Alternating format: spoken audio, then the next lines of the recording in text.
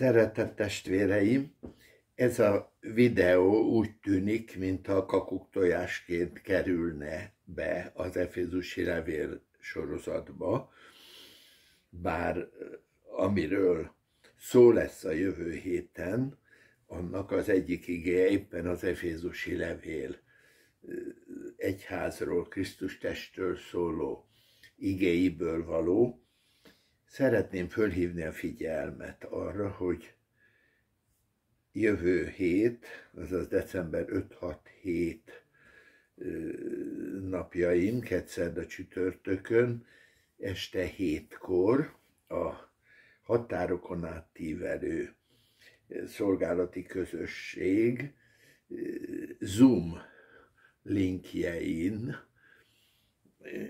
evangelizációs szolgálatokat végzek. Ezt a kérést kaptam, hogy táncol az egyház ezzel a címmel. Nem is kimondottan azzal szeretnék én három este foglalkozni, hogy ennyi, ennyi, keresztjén bálok és a többi, hanem sokkal inkább ennek kapcsán azzal, hogy a láthatatlan és a látható egyház és mit jelent a számunkra, hogy Isten oldaláról nem úgy megy, ahogy a hívők tömegei gondolják, hogy Isten és én, Krisztus és én, hanem amikor újjá születik valaki, akkor bekerül egy családba, a Krisztus test valóságába, és ennek ugye az örökkévaló vetülete megvan, és a földi vetülete is. A helyem az egyház közösségében, illetve építésében, ami szintén nem adhok, hogy majd én, ahogy kigondolom, hanem ahogy mondja is Isten igéje, hogy az előre elkészített cselekedeteket cselekedjük, azaz minnyájunknak van Istentől elgondolt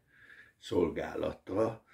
az egész test építésére, ami persze, hogy változhat, meg több rétűbb lehet, ezt most itt nem elemzem, ez majd úgyis belekerül a szolgálatba, de akit érdekel, az figyelje majd, itt a képek után jön egy írásos sorozat, ami szintén ezt a jövő heti evangelizációt adja elénk, és a Zoom link az ott van, hogy aki szeretne belépni, az fél hét és hét között tegye ezt meg, lehetőleg az utolsó pillanatokban. Aztán, ha ő regisztrált, belépett, utána ő teheti még, amit tenni akar, de lehetőleg háromnegyedig ki kijelentkezzen be, és együtt figyeljük az evangelizációt. Hadd kérjem azt is, hogy mivel nyilván érzékeny téma ez, egyházunk belül különösen is, aki imádkozni szokott, az imádkozzon azért, hogy lehetőleg az hangozzon őszintén, aminek el kell hangoznia, és amire nincs szükség, azt föltétlen nem mondjam. Isten áldása legyen a testvéreken, és így épüljön be ez az evangelizáció is az életünkbe, illetve